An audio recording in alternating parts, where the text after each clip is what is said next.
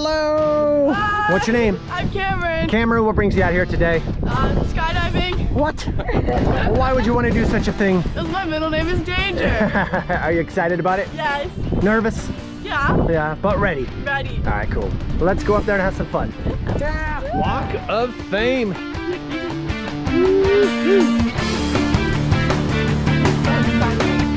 me a thumbs up.